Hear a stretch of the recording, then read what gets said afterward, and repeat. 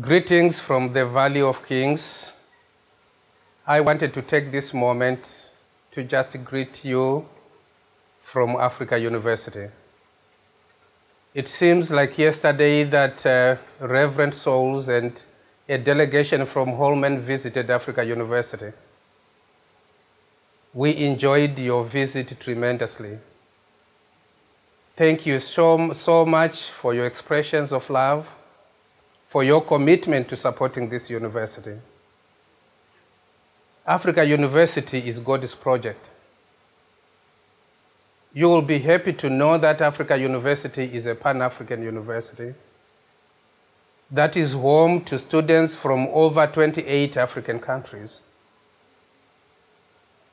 God gave this vision to the United Methodist Church to bring people from all over Africa together in one place so that they can talk about Africa's development and address all issues of similar concern together in one place.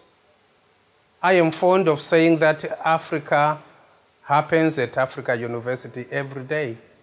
Can you imagine what we can do in this place in terms of programming, in terms of our curriculum, that we have Africa here?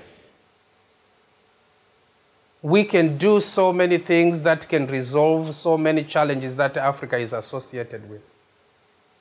I thank God that we have so many people who support Africa University's vision and mission.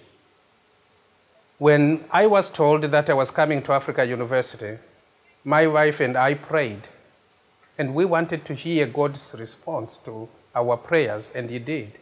So we are here at Africa University doing the work of God.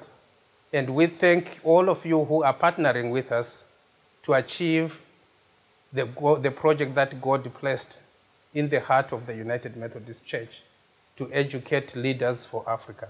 Thank you.